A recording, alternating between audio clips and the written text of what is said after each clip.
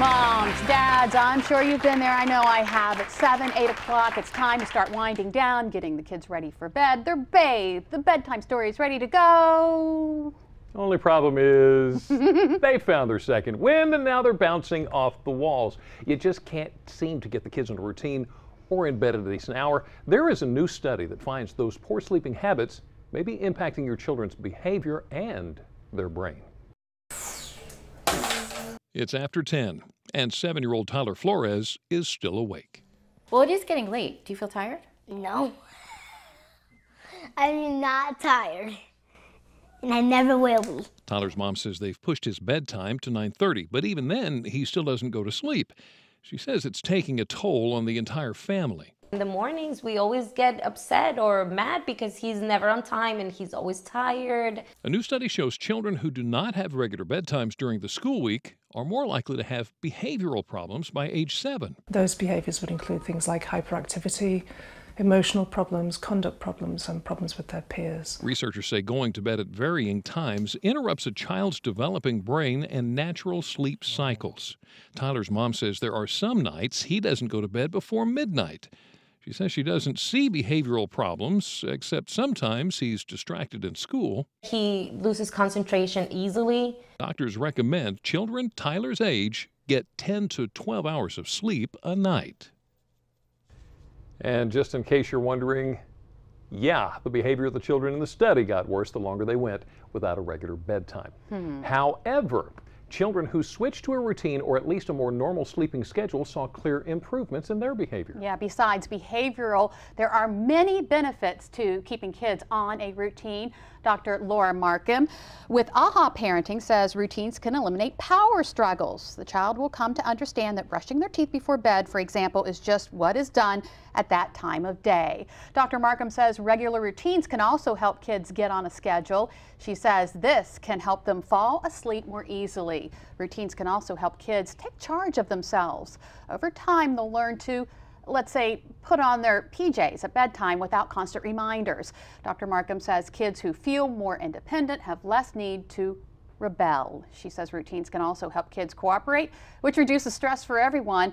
If everyone knows what comes next, no one feels pushed around. Now, it's not just kids, though. Adults can benefit from routines, too. For instance, psychologists say adults who have a regular, predictable sleep cycle can find it easier to fall asleep.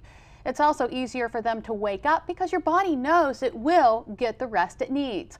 Also, psychologists say adults who stick to the routines are less likely to get sick.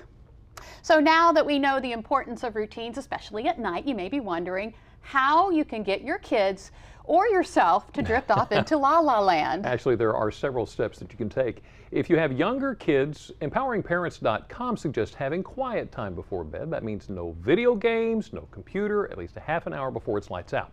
When it comes to electronics for older children, experts say take them completely out of the room. Everything from the TV to the video game system to the cell phone come bedtime, they should be removed. The rest of the family should also start winding down come bedtime. It's going to be hard for the others to fall asleep if mom's bustling around in the kitchen or if the older siblings are running around and carrying on.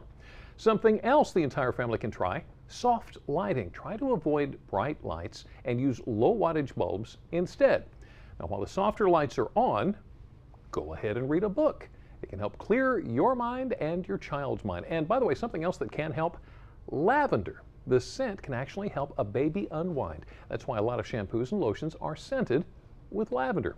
Just try adding a few drops to your child's bath or put a lavender diffuser in your child's room. And of course, by the way, lavender helps us adults relax yeah. as well. we all have our own tricks on how to get the kids to go to bed, so we asked you to share your advice on Facebook. Julie says, five kids and my no-nonsense style, no video games in our house. You got to play outside till dark. My oldest will be 35 soon. They all say, I want my kids to grow up like we did. Best compliment of my entire 56 years of living. Wow. Carolyn said, My son's now 33, but what I used to do is get him washed up and then have quiet time. We'd sit together in his room, talk quietly about what he did that day and what we'd do tomorrow. I also would play his soothing music box, and he would relax and drift off to sleep. Joanne says, schedule, schedule, schedule, and no electronics other than the radio. Jody's right there as well. Shower at 8, snack at 8.30, and in bed where I could cuddle with him for a little bit. Aw. Vicki says, I let my kids grow up, move out, and have kids of their own. Payback is sweet. if you'd like to weigh in on the conversation, go to the Delmarva Life Facebook page. You know what I did with Zach? What? I'd lay in bed with him and read a book. Yeah, we Yeah. did that too. And then you'd fall asleep. First. Every time. Still ahead on Delmarva Life, the battle of the bulge has so many of us watching our sugar intake. Oftentimes, we opt for artificial sweeteners, but could they be doing more harm than good? We're going to get the skinny, if you'll pardon the pun, on sweeteners. We're also going to learn a few steps or a few simple food swaps that can save you on fat and calories. For instance, wait till you hear how dry oats can really dress up your dinner. Okay, so we're talking food. We're going to go to the kitchen with a fourth grader. She's going to show us how to whip together a tasty little frittata. Plus, if this morning was any indication, the colder weather is creeping in. Oh, oh, so oh. when you turn on the heat in your home, you want to make sure the warmth gets to you quickly. We'll find out why, if it's not, it may not be a faulty furnace. We'll learn more. Delmarva Life, we'll be right back.